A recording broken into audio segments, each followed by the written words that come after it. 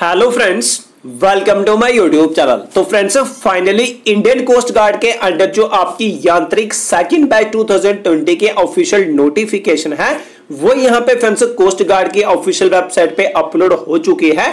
जिन students ने भी अपना जो डिप्लोमा है फ्रेंड्स इंजीनियरिंग में कर रखा है डिफरेंट डिफरेंट ब्रांचेस के अंडर जो कि हम इस वीडियो में डिस्कस करेंगे, वो सभी कैंडिडेट फ्रेंड्स इसके अंडर ऑनलाइन फॉर्म को अप्लाई कर सकते हैं।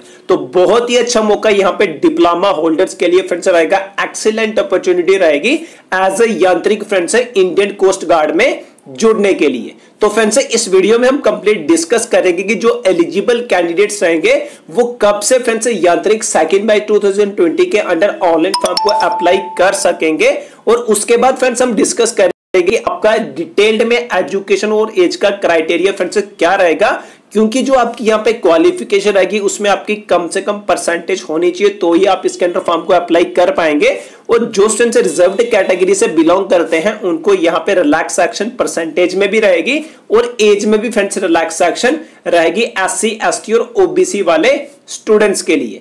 उसके बाद फ्रेंड्स हम डिस्कस करेंगे कि आपका जो सिलेक्शन प्रोसेस है, जिसमें आपका written examination physically fitness test initial medical examination आपका रहता है फाइनल मेडिकल एग्जामिनेशन आता है तो डिफरेंट डिफरेंट जो आपकी स्टेजेस रहती हैं सिलेक्शन प्रोसेस के अंदर, वो भी फ्रेंड्स हम इस वीडियो में डिस्कस करेंगे और जो रिटर्न एग्जामिनेशन में आपका जो एडमिट कार्ड आएगा, वो आपका किसके बेसिस पे आएगा?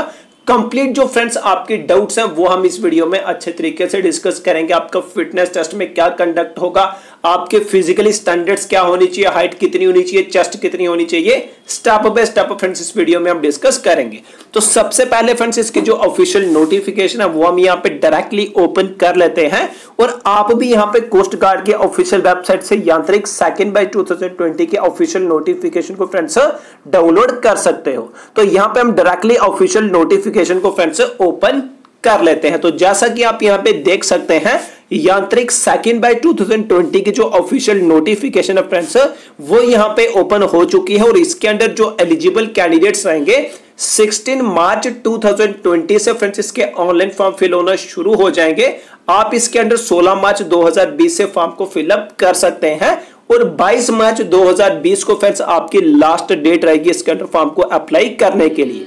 तो डिप्लोमा होल्डर के लिए फ्रेंड्स बहुत ही एक्सीलेंट अपॉर्चुनिटी फ्रेंड्स रहेगी इंडियन कोस्ट गार्ड में जुड़ने के लिए एज ए यांत्रिक। तो सबसे पहले हम यहाँ पे डिस्कस कर लेते हैं कि आपका एजुकेशन का क्या क्राइटेरिया रहेगा। तो इसके अंदर फ्रेंड्स सिर्फ़ और सिर्फ़ इंडियन मेल कैंडिडेट ही फ्रेंड्स एलिजिबल रहेंगे।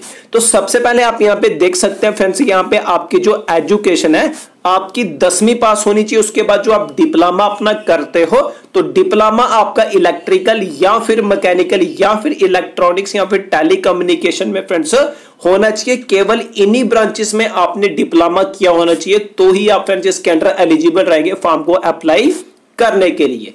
और आपने जो अपना डिप्लोमा कर रखा है कंप्लीट आपके सभी सेमेस्टर के परसेंटेज को मिला के सिक्सटी परसेंटेज फ्रेंड्स कम से कम होना चाहिए अगर आप general category economically weaker section या फिर ओबीसी से बिलोंग करते हैं।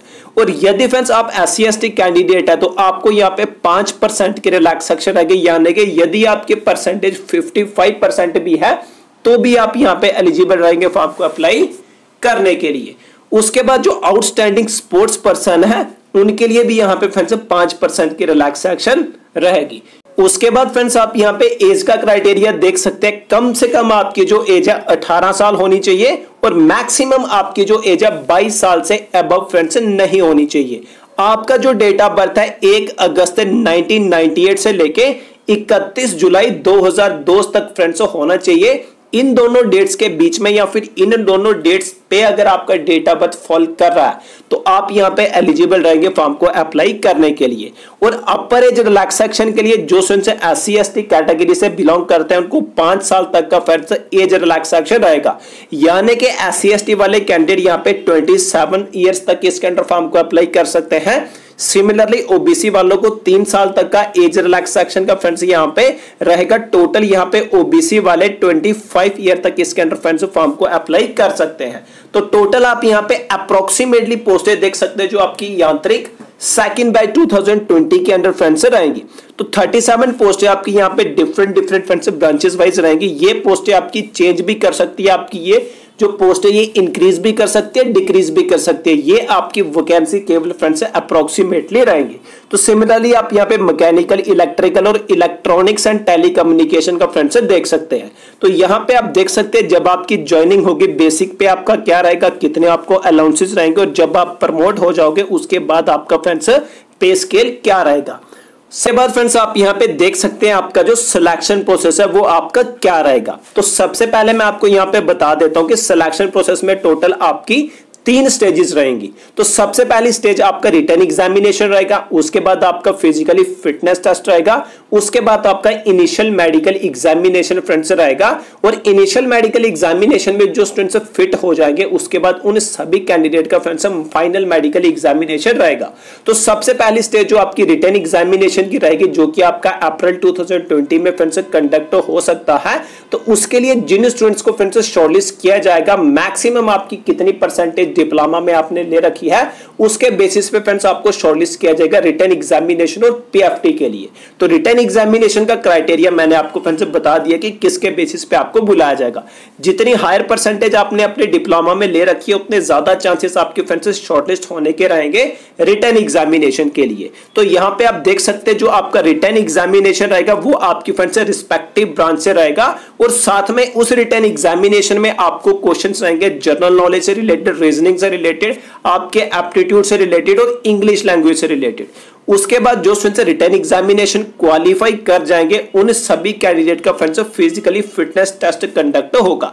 तो फिजिकली फिटनेस टेस्ट में आपकी रनिंग रहेगी, जो कि आपको सात मिनट में कंप्लीट करनी है 1.6 किलोमीटर यानी कि वन माइल आपको सात मिनट में फ्रेंड्स रनिंग को कंप्लीट करना है।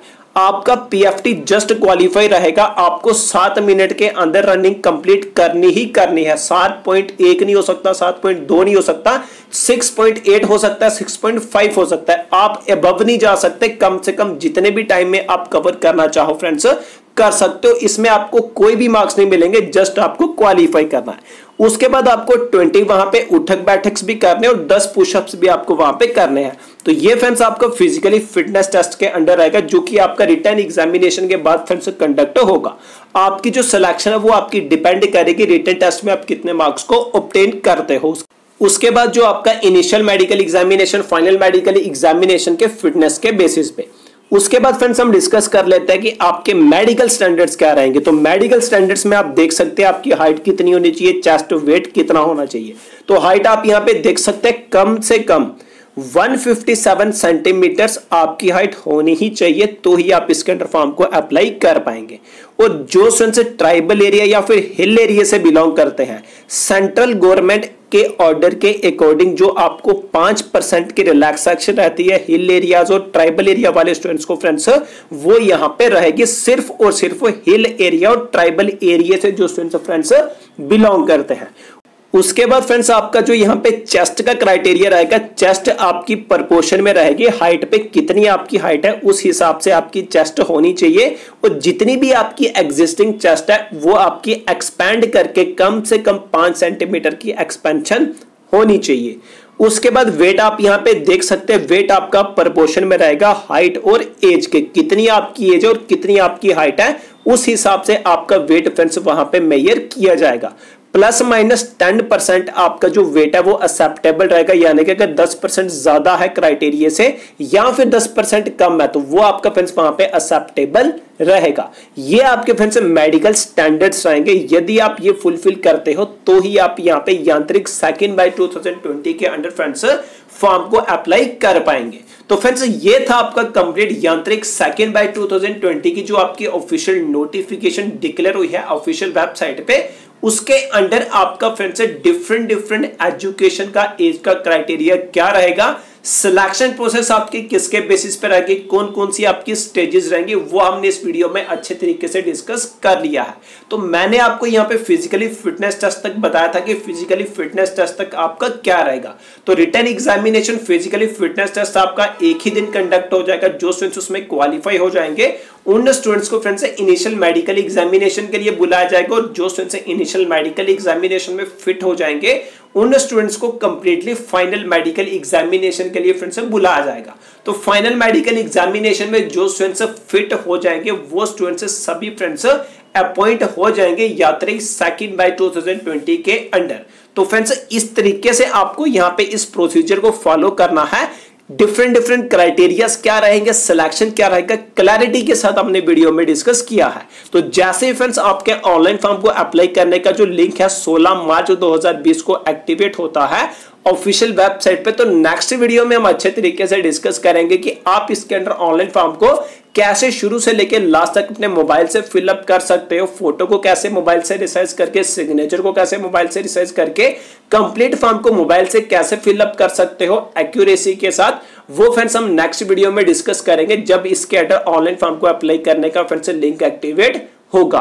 तो फ्रेंड्स यदि आपको इसके रिगार्डिंग कोई भी कंफ्यूजन है जो हमने यहाँ पे इस वीडियो में डिस्कस किया तो आप डायरेक्टली फ्रेंड्स कमेंट सेक्शन के अंडर पूछ सकते हो। मैं आपको वहाँ पे विद इन सेकेंड्स में रिप्लाई करूँगा और आपकी प्रॉब्लम को फ्रेंड्स जल्दी से जल्दी सॉल्व करने की कोशिश करूँगा। एक बार फिर से मैं आपको यहाँ पे बोलूँगा कि जो भी डिप्लोमा होल्डर स्टूडेंट्स हैं, अगर उन स्टूडेंट्स ने इंजीनियरिंग अपनी इस ब्रांच में कर रखी है तो बहुत ही अच्छा मौका फ्रेंड्स आपको यहाँ पे मिल रहा है। यदि आप कोस्ट गार्ड में अपना करियर एज अ यांत्रिक फ्रेंड्स बनाना चाहते हैं। Thank you friends